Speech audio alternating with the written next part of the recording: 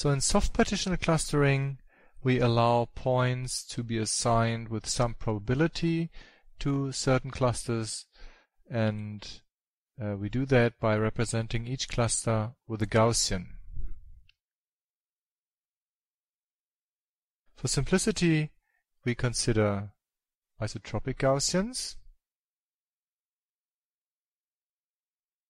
and can visualize the situation as follows.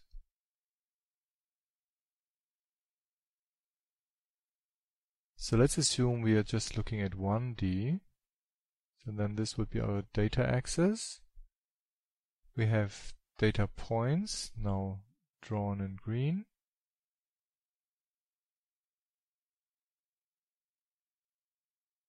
For one cluster.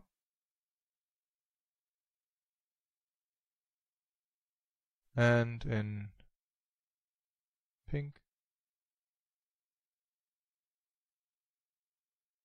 for another cluster. Another idea is that we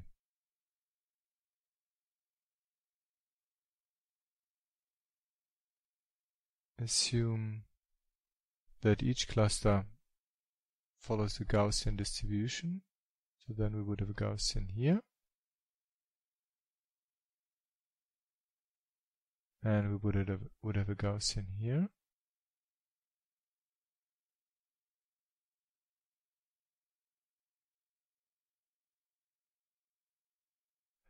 And this means it's very likely to find pink points here, and it's very likely to find green points here. And if we happen to have a point here somewhere in the middle, it's not very likely to find a point there, but if we have a point there, um, it cannot really be decided whether it belongs to the green cluster or to the pink cluster. So here we would say it's 50-50. While if we find a point here, it's also quite unlikely to have a point there, but if you have a point there, it's very likely that it belongs to the pink one and not to the green one.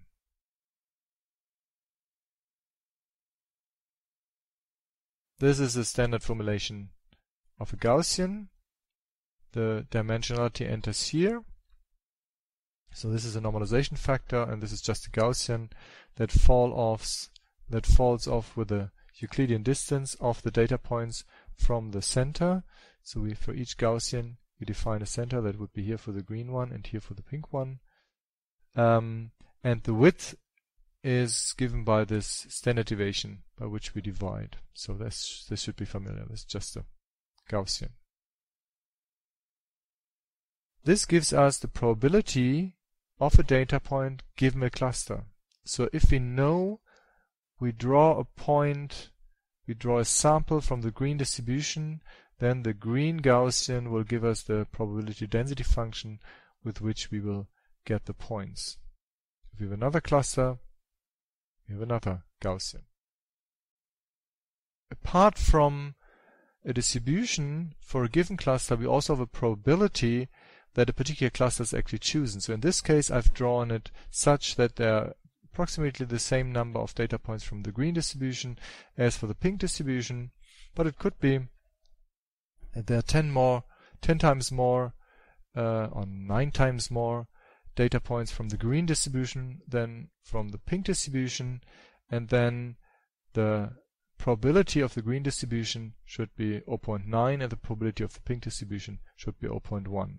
So if we have that, then we can calculate the probability of finding a, a data point anywhere in space, uh, which is given as the probability um, of choosing a cluster times the probability of finding a data point at a particular location given we know it comes from that cluster. And then we simply add over uh, the number of clusters. So this is standard Bayesian theory here.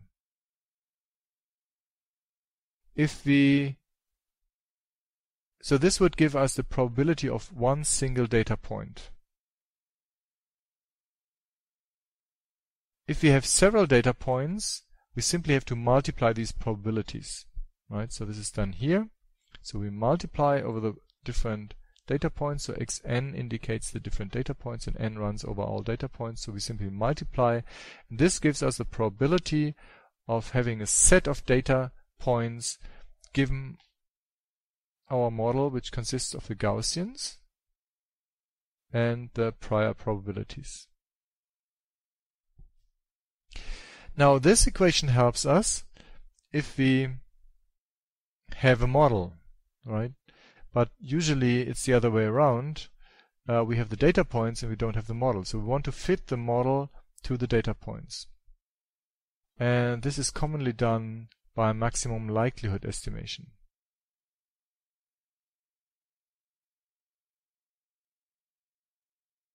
Mm, okay, so we see that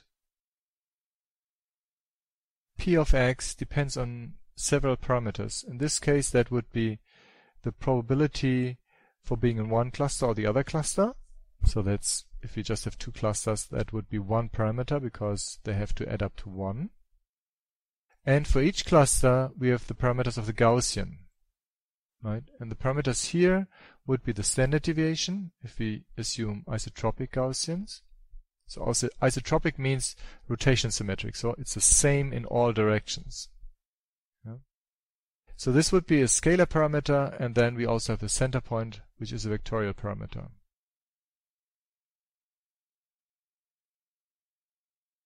Okay, so what we could do is we could extend this equation a little bit and write P of x sub n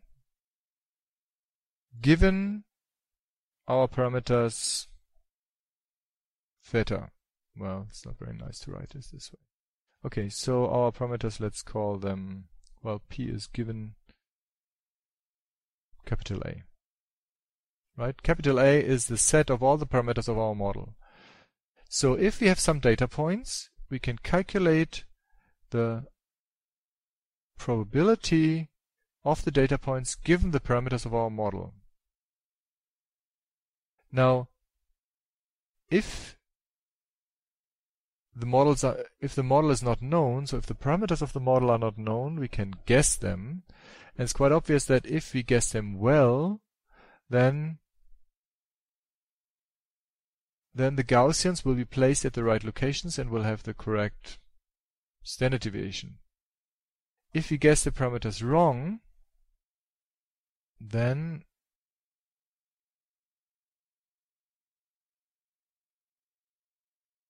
we might have a situation more like this.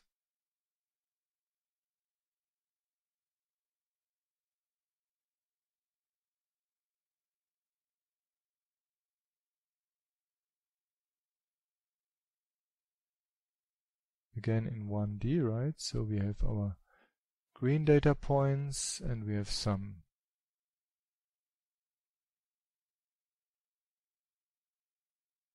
pink data points. And, well,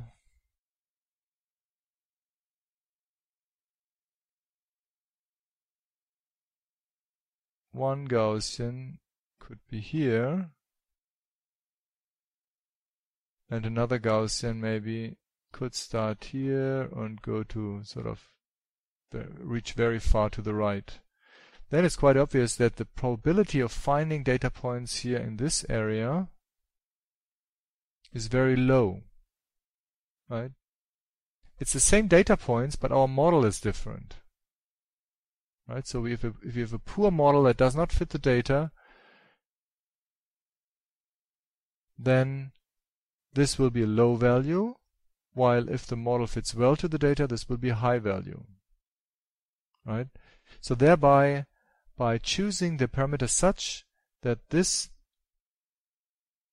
that the probability of the data points given the model is large gives us good parameters. Now this is an optimization with respect to the parameters and not with respect to the points, right? So therefore it's called maximum likelihood estimation and not maximum probability estimation. Because this function, considered as a function of A, is a likelihood, while the same function considered as a function of the data points would be a probability density. Yeah. So we want to estimate the parameters of the module model such that the data points as we have them become very probable. Yeah, and that's the, the idea of the maximum likelihood estimation.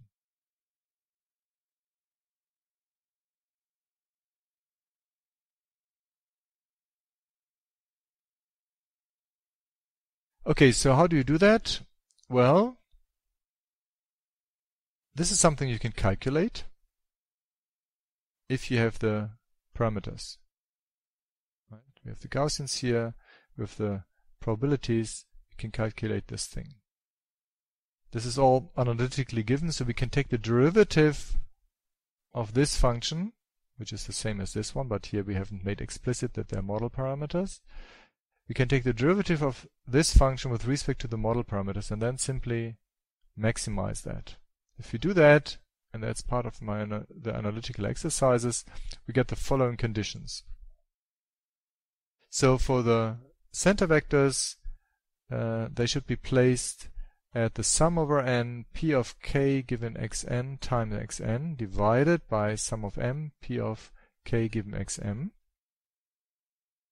So and the standard deviation squared would be given by 1 over d and then this expression and the probabilities would be given by this expression. Now let's go through these expressions and see whether they make sense. Okay, so what is this? Well, these are all data points weighted by the probability that cluster K is actually responsible for that data point. Yeah, so this is a weighted sum over the data points. And the weights are the probabilities of that cluster being responsible for that data point, right? This is a normalization which equals the numerator if we ignore the data point, right? So this just serves as a normalization constant. So overall, this is a weighted sum over the data points, and the weights are the normalized probabilities of a cluster being responsible for a data point. So if I draw here, for instance, data points with thick points, if the if they are likely to belong a cluster, so for for large for large P of k given x. And I draw data points somewhat smaller if they do not belong or if the cluster does not fit it is most likely not responsible for that data point, right? You might get such a picture.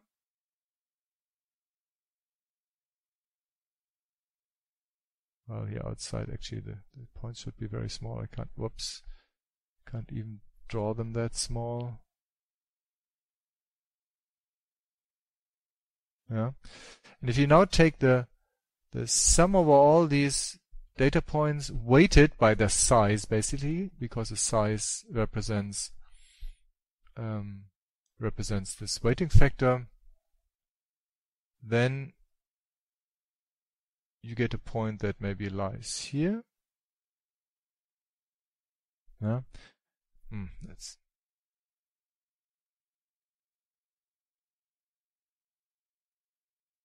And that's pretty much just the center of gravity of the points for which that particular cluster is responsible. So that makes sense. Now, so what is this here? This is the squared standard deviation, so it's a variance basically. And again, it's pretty much the rule of the normal variance. So you take the squared distance of the data points from the center, weighted again with the same weighting factor as here. So weighted by how much, how, how probable it is that uh, cluster K is responsible for that point. So that is the standard way of calculating um, the variance. It is scaled by 1 over d because where d is the dimension of the space. right? So if you have the total variance, so let's assume you have data which has variance 1 in all dimensions, right? Along the first axis, along the second and the third axis, if you're in three-dimensional space. Then the um, total variance of that would be simply the sum over these individual variances, um, given that they're uncorrelated, would be 3, right? So it makes sense to divide by the number of dimensions in order to get the scalar value indicating sort of the, the radius of the Gaussian, if you like. Okay, so that also makes sense. And finally, we have the P of k, which is 1 over n, where n is a number of data points of P of k given xn. So P of k given xn is the probability that cluster K is responsible for that data point. And if we sum that up over all data points and we divide it by the number of data points, so we take the average, that would be the probability with which we pick um, cluster number k. So all these rules make sense. And that looks like a great thing, right? So it looks like uh, it's very easy to calculate the center of gravity um, well, the, the, the center vectors, the, standard deviation, and the probability of the clusters. Now the trouble with this is that it's that P of k is actually also included in these uh, in these equations on the right side. You can see this if you resolve P of k given x. Uh, you see that this is P of x given k times pk divided by p of x. And if you resolve this further, you get this equation. So we have p of k and p of l here in this equation. And while p of x given k is given, right? So that's what we have seen above here. So this is p of x given k, so that's given. But that also has, well, the trouble is it also has these parameters, right? So the, the problem here is that through this p of k given x, uh, we have all the parameters also on the right side. Yeah? So this is not, uh, so we cannot calculate these three values in one step because all these three values enter also the right side. Oh, we see this also here clearly, right? So this is center here. Okay, so what one then does is one simply iterates these these equations.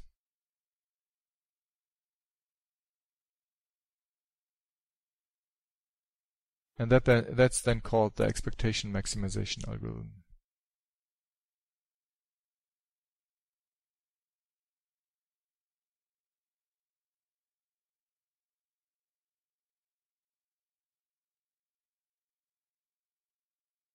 Okay, so there are um, practical problems with this algorithm. So one is the typical get stuck in a local optimum problem.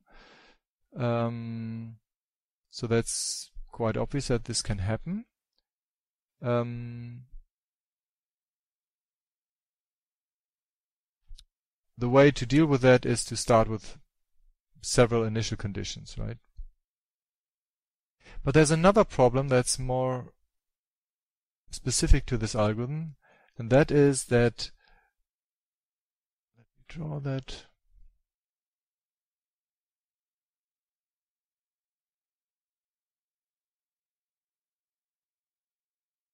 Oh, let me draw this in 2D. So if you have a couple of data points, 2D, let's assume, assume it, you try to model this with two Gaussians. Then one Gaussian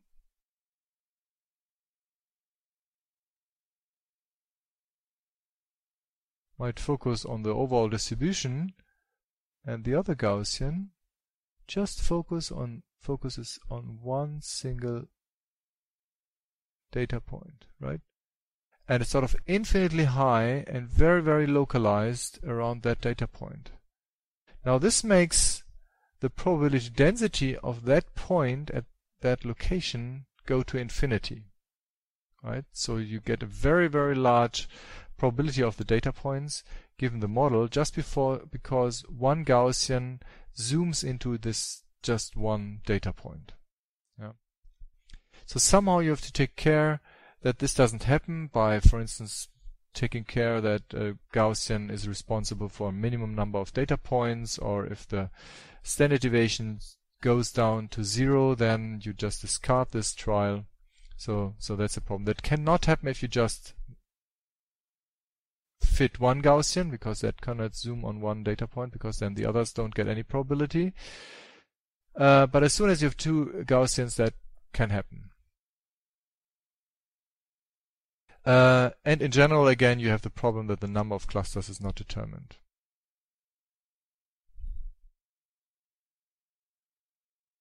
Okay, so this is the this was the version for for um, isotropic Gaussians, so rotation symmetric Gaussians. There's an anisotropic Gaussian version where the Gaussian becomes a bit more complicated. Rather than just dividing here by the standard deviation as we have done above.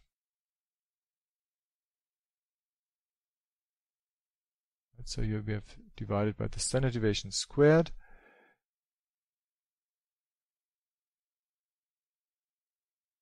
We now have a full covariance matrix. Um, I don't go into details here. It should be familiar from principal component analysis that a covariance matrix can represent sort of a distribution uh, of data in n-dimensional space, and this is the way to write this for Gaussian. The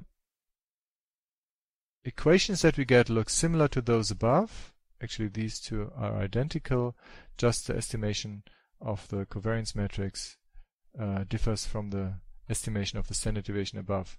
But this is a standard covariance um, matrix here, now averaged um, over all data points according to the probability that the clusters are responsible for these data points. So it goes through, it works just the same as for the isotropic Gaussian, just the equations become a bit more complicated.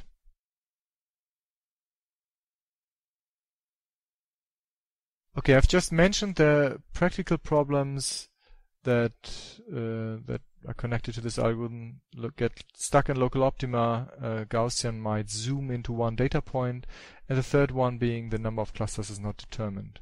So what can we do about the last problem?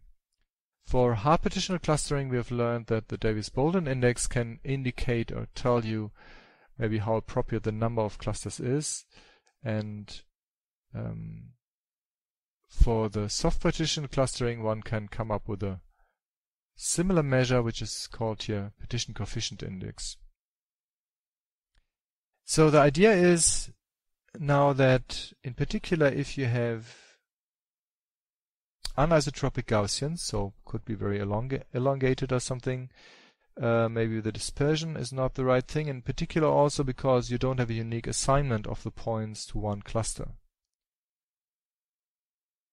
In soft partition clustering, the points are assigned with probabilities to the to the um, clusters, and if it, the clusters are well separated, you can expect that the values, so the probabilities with which points are assigned to clusters, are either close to zero or close to one. So there would be very few 50-50 situations. Maybe I can also visualize that. Okay, so if the clusters, draw this up here.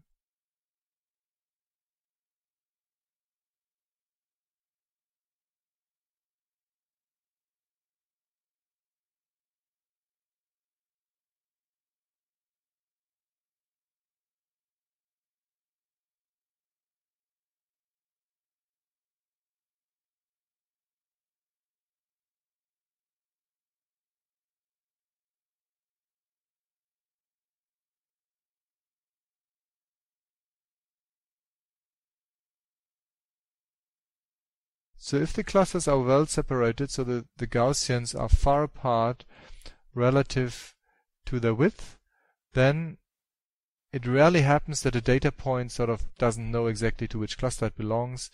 So here would expect that the probability of k given a data point, so that is either so for this one it would be 1 for the green cluster and um, 0 for the pink clusters and here it would be the other way around.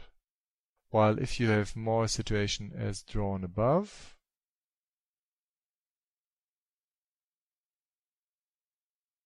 here we actually have points that are 50-50, right? So they exist, right? It, I mean, even in the mm, even here there are locations where the assignment, oops, even here there are locations where the assignment would be 50-50, but there are just no data points, right? Okay, so in a good clustering, you would assume that P of k given xn is close to 1 or 0.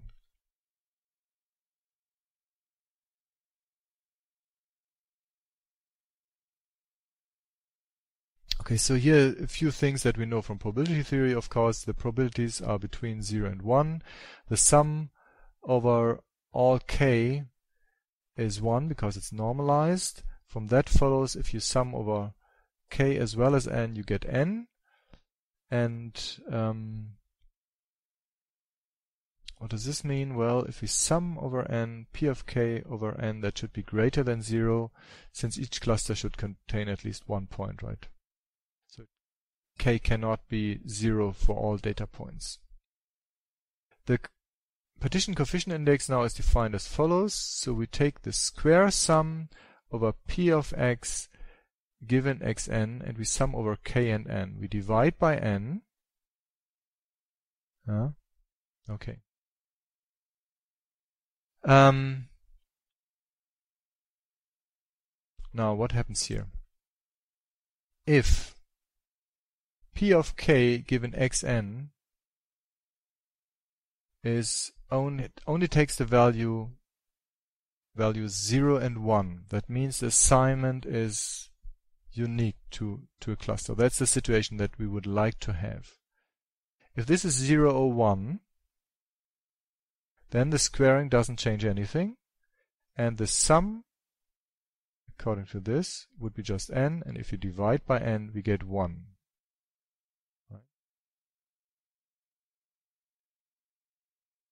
So this would be 1 if the assignment is unique. Now the worst case is that the assignment is always completely arbitrary or random or equal across the clusters. If p of k given xn is uniform because of this thing, p of k given xn should be 1 over capital K Squaring would be 1 over k squared. Oh no. And then we sum over k and sum over n. Because we sum over k, get rid of 1, 1 over k, but we are left with an, the other 1 over k, and this n cancels out with this 1 over n. So let me write this down.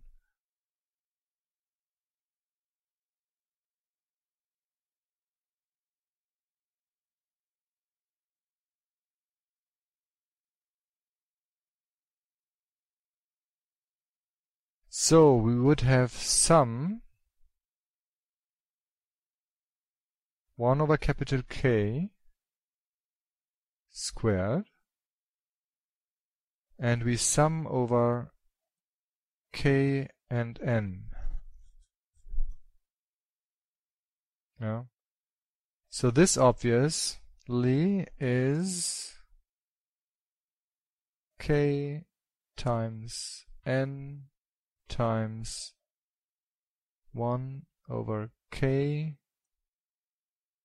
to the power of 2 and since in, in the sum we have this 1 over n in front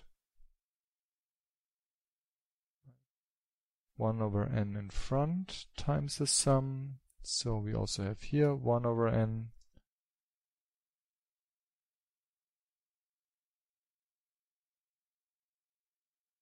and that obviously is 1 over k. Because this 1 over n cancels with this n, this k cancels with 1 over the 1 of 1 over k's and then we are left with 1 1 over k. Good. So that's the worst case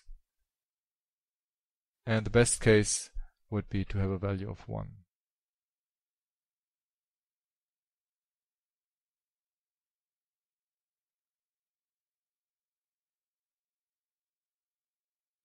Okay, so here starts agglomerative clustering.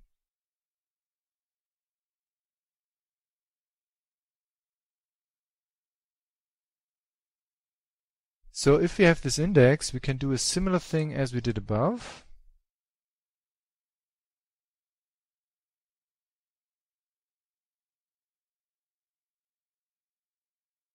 Right?